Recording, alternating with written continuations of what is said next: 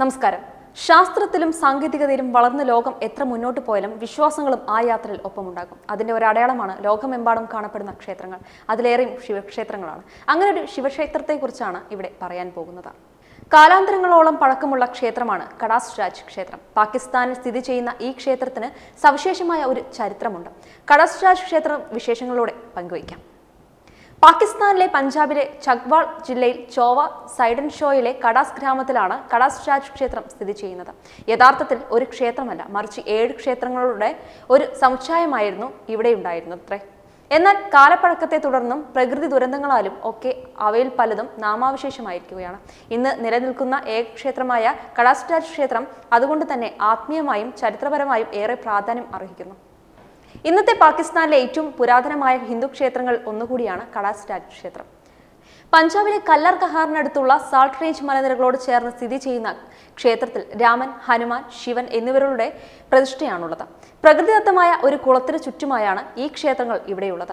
ഇവിടുത്തെ പ്രബലമായ വിശ്വാസങ്ങൾ അനുസരിച്ച് ശിവന്റെ കണ്ണുനീരിൽ നിന്നാണത്രേ ഈ കുളം രൂപപ്പെട്ടത്. തന്റെ പത്നിയായ സതീദേവിയുടെ ജീവനറ്റ ശരീരവും കയ്യിൽ പിടിച്ച് എങ്ങോട്ടൊന്നില്ലാതെ ആകാശത്തിലൂടെ പോയപ്പോൾ കരഞ്ഞ ശിവന്റെ ഭൂമിയിൽ പതിഞ്ഞ കണ്ണുനീർ തുള്ളിയാണത്രേ ഇത്. രണ്ട് കണ്ണീർ കണങ്ങൾ പതിഞ്ഞതിൽ അടുത്ത കുളം രൂപപ്പെട്ടിരിക്കുന്നത് രാജസ്ഥാനിലെ അജ്മീറിലാണ് പുഷ്കറിലെ തീർത്ഥാടനം ഈ വിശ്വാസത്തിന്റെ ഭാഗം കൂടിയാണ്. മറ്റൊരു കഥയനുസരിച്ച് കടാസ് രാജ്യം നൈനിതാളുമാണ് ഈ രണ്ട് കുളങ്ങൾ. പാണ്ഡവരും ക്ഷേത്രം. തങ്ങളുടെ വനവാസകാലത്ത് പാണ്ഡവർ കുറെ കാലം ഇവിടെ ചിലവഴിച്ചിരുന്നു അത്രേ ഈ ക്ഷേത്രം നിർമ്മിച്ചത് പാണ്ഡവരാണെന്നും ഒരു വിശ്വാസമുണ്ട്.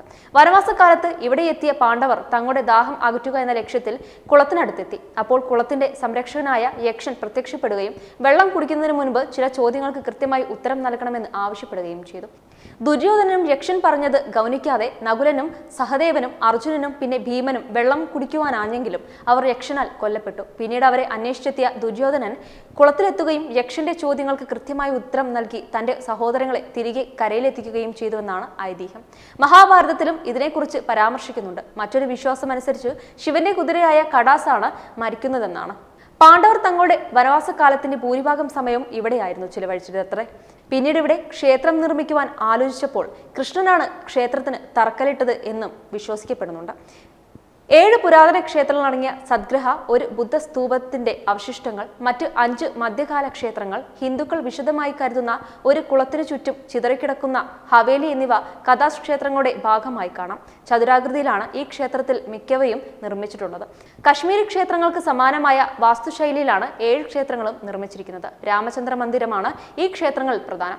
ഹരിസിംഗ് ഹവേലിയുടെ കിഴക്ക് ഭാഗത്തായി ഇത് സ്ഥിതി ചെയ്യുന്നു. കിഴക്ക് പ്രവേശന കവാടം ഒഴികെ എല്ലാ ഭാഗത്തു നിന്നും ക്ഷേത്രം അടച്ചിരിക്കുന്നു ഇരുനില കെട്ടിടത്തിന് താഴത്തെ നിലയിൽ വിവിധ അളവുകളുള്ള എട്ട് മുറികളും ഒന്നാം നിലയിലേക്ക് നയിക്കുന്ന തെക്ക് ഒരു ഗോവണിപ്പടിയും ഉണ്ട്.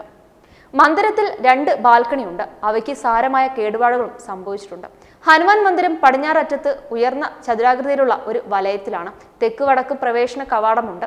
ക്ഷേത്രത്തിന്റെ മേൽക്കൂര അലങ്കരിക്കാത്തതും കുമ്മായം പൂശിയതുമാണ്. ശിവക്ഷേത്രവും ഒരു ചതുര പ്ലാറ്റ്ഫോമിലാണ് നിർമ്മിച്ചിരിക്കുന്നത്. ക്ഷേത്ര സമുച്ചയത്തിന്റെ പേര് കണ്ണു നിറഞ്ഞ കണ്ണുകൾ എന്നർത്ഥമുള്ള സംസ്കൃത പദമായ കടക്ഷയിൽ നിന്നാണ് ഉരുത്തിരിഞ്ഞതെന്ന് വിശ്വസിക്കപ്പെടുന്നു. ഈ കുളത്തെ ആദ്യം വിസ്കുണ്ട് അഥവാ വിഷവസന്തം എന്നാണ് വിളിച്ചിരുന്നത്. എന്നാൽ പിന്നീട് കണ്ണുനീരൊഴുകുന്ന നീരുറവ എന്നർത്ഥം വരുന്ന അമർകുണ്ട് ചമാസ്കുണ്ട് ഒടുവിൽ കടക്ഷക്കുണ്ട് എന്നിങ്ങനെ അറിയപ്പെട്ടു. വെബ് ഡെസ്ക് തത്തുമൈ ന്യൂസ്.